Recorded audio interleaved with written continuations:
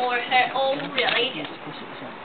No matter your God is Buddha, Jesus, or even Maria, we all find a place to set our spirit comfortable. But recently, I found another religion that is beyond any of God, and we are all under its control. Hello! Yes, hello, Toastmasters. It is hello religion. How many times a day? A week? A month? Even a year? You said this word, hello. Have you ever counted? Have you ever noticed which voice, which pitch you put in this word? Have you? Have you? Ah, but no. Uh, I never. Why should I have to? I speak it out when I pick up my phone. I speak when I greet my friend. Hello. I I speak hello just like uh, sometimes I curse when I get angry. I speak just like it it's a slip of my tongue. Totally naturally. And I can dare myself to say. I can easily distinguish who you'll be talking with once you pick up your phone. Hello? Oh, no time no see friend. Hello? A friend hanging out with you every day. Hello? Lover, right? Hello? Will start to nag you. Hello? The phone number is not available now.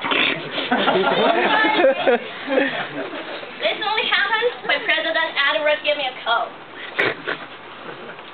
But don't think the power of hello only stops at vocal variety. No, no, no. It has more function, more affection. Do you confuse how to express yourself? Do you confuse how to tell others what you are doing now? When you can only use your voice to contact others. Actually don't have to by necessity. Because you've already answered it once you open your mouth. Oh, hello. Sleepy? Hello?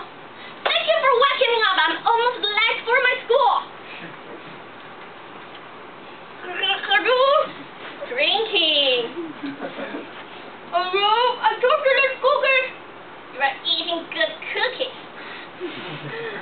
and even sad, angry, happy, fine, interesting, exciting can turn to be hello.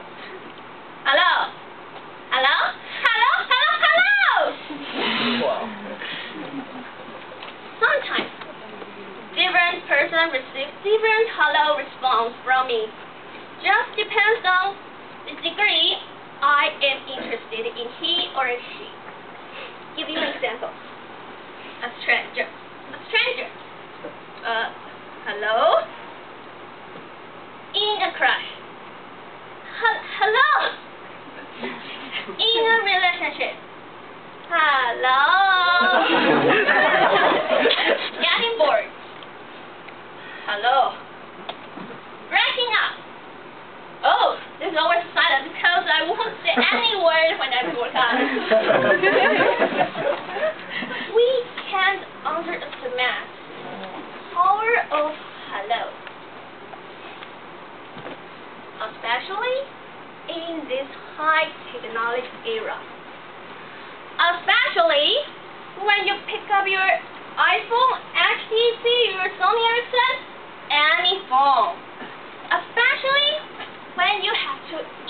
introduce yourself to someone, to a new friend, especially when you have to greet with your friends in a meeting, especially for a Toastmasters, a speaker. Standing on the stage